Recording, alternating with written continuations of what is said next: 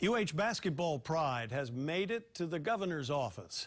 Governor Ige proclaimed today University of Hawaii Rainbow Wahine and Rainbow Warriors Basketball Day in honor of the team's achievements this season. Both the men and women won the Big West Conference titles, earning them automatic berths to the NCAA tournament.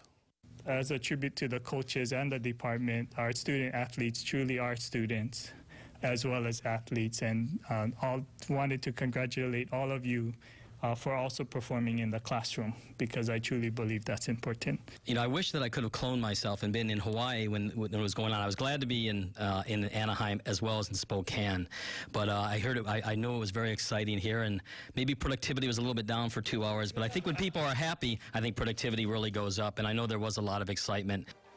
The celebration didn't stop there. The teams were the guests of honor at a rally at the UH Manoa Campus Center courtyard this afternoon.